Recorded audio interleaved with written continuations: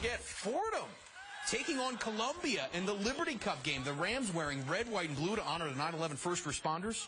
Mike Nebrich throwing for 435 yards. He matched his career best with four touchdowns against the Lions. The Rams win by 42 points. They are 3 and 1 this year. Nebrich, in fact, was a guest of ours on tonight's WLNY Sports Update.